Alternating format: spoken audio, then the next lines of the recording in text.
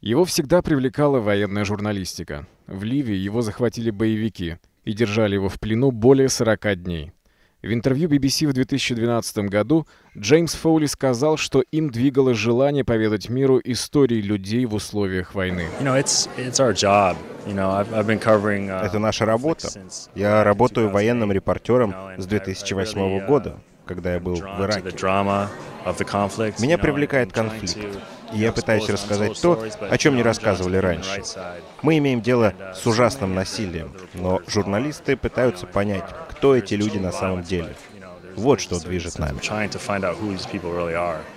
На сайте Facebook мать Джеймса Фоули, похоже, приняла факт смерти сына. Она призвала боевиков пощадить других заложников. Боевики говорят, что они мстят за недавние американские авиаудары по джихадистам в Ираке. Для них это одна из немногих возможностей ответить американцам. Мы не можем показать видео, смакующее сцену убийства. На нем показан палач, говорящий с британским акцентом. Он отрезает голову Фоули, захваченному в Сирии два года назад.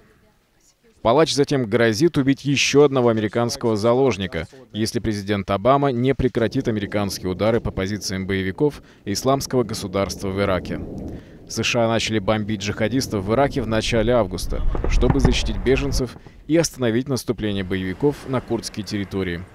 С тех пор американцы помогли курдским военным формированиям взять под свой контроль дамбу в Масуле – уже довольно давно известно, что в рядах боевиков исламского государства сражаются примерно 500 британцев. Многие из них снимались в пропагандистских видеороликах, направленных на мобилизацию других мусульман. Личность палача Джеймса Фоули не установлена.